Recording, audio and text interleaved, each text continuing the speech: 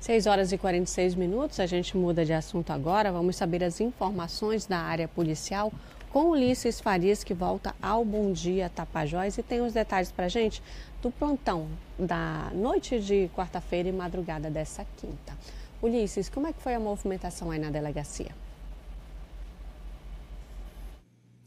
Teve registros por aqui, viu, Cícero? Com o fim do carnaval, os lojistas agora se preparam para as próximas datas comemorativas que também aquecem as vendas ao longo do ano.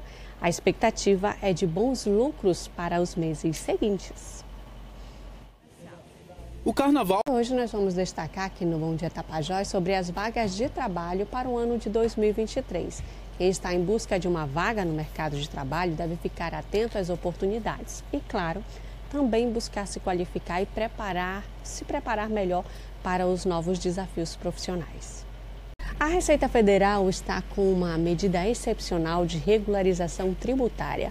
Quem tem mais informações para a gente sobre esse assunto é Sandro Vogan, que volta ao Bom Dia Tapajós. Sandro?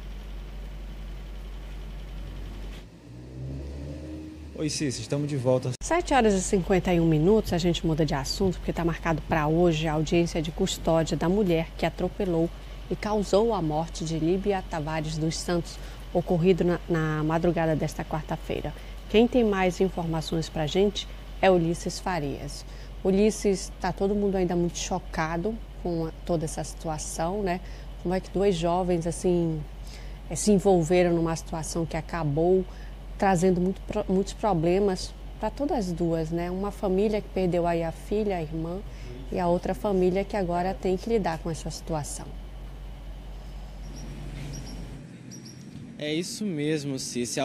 8 horas e 6 minutos, o último grito de carnaval em Santarém foi do bloco Só Fuleiragem, que animou os foliões depois de dois anos sem poder realizar o tradicional desfile pelas ruas do centro da cidade. Formado por músicos, o bloco encerra a quadra carnavalesca no município.